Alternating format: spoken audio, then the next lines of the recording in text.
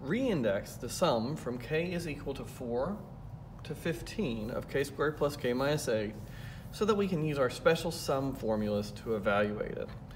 Well, the idea here is we have three special sums that we know. And if we look at those rules, they all apply to sums that go from k equals 1 to some number. So the sum of the first n whole numbers, that's n times n plus 1 all over 2. The sum of the first n squares It's n times n plus 1 times 2n plus 1 all over 6.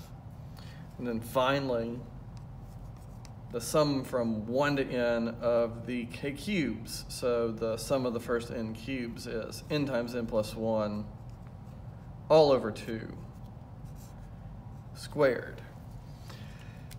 And to use these formulas, I need sums that start at 1. So we're supposed to re-index this, and in particular, we need to re-index it so that our sum starts at 1.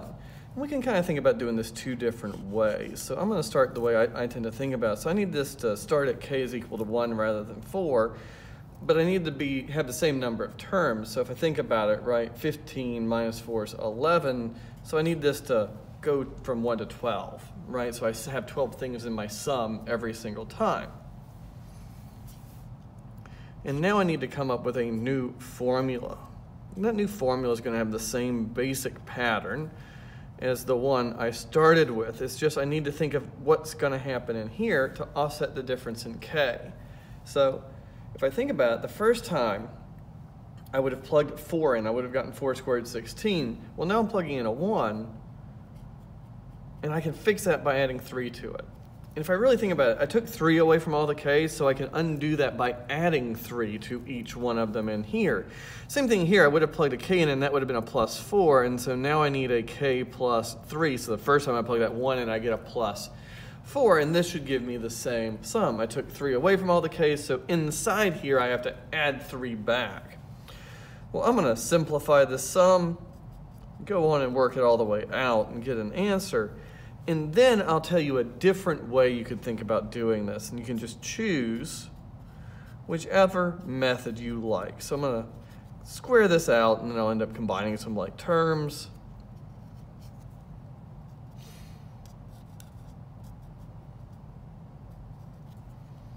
All right, there's just the one square term, but I have 6k and 1k more, so I have 7k. And then let's see, I have a plus 9 plus 3 is 12 minus 8 is 4. So this sum and this sum are actually equal. This one I can split up using some sum properties and then apply our special formulas.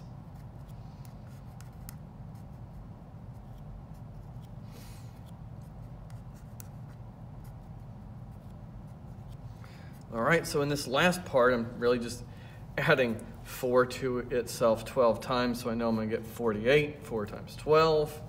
This first part, I get to use um, this formula, where n is now 12. So I'd have 12 times 13, uh, 2 times 12 plus 1, so times 25, all over 6, and then plus 7 times the sum of the first 12 whole numbers. So I get to use this property, excuse me, this, this formula. So I have 12 times 13 all over 2. And now I just need to, to do that sum. And we could probably manage to do that in our head. We could definitely go on and divide that out. But you know what? I have my handy TI-84 off camera here, so I'm just going to use it to go on and get an answer. So this first part simplifies to 650.